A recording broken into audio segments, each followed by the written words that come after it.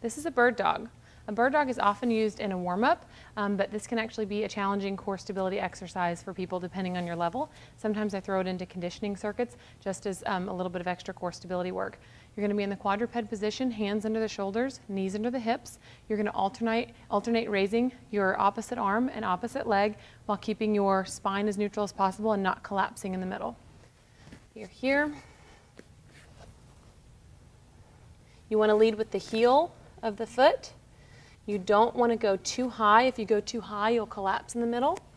So opposite arm, opposite leg. You should be able to balance a broomstick on your back while you're doing this.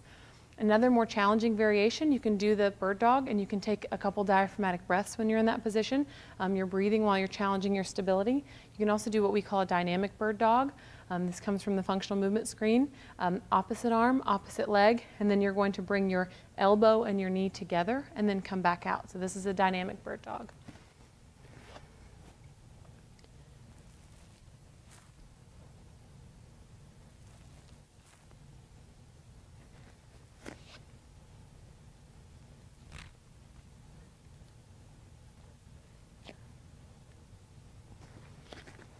That's a regular bird dog and a dynamic bird dog.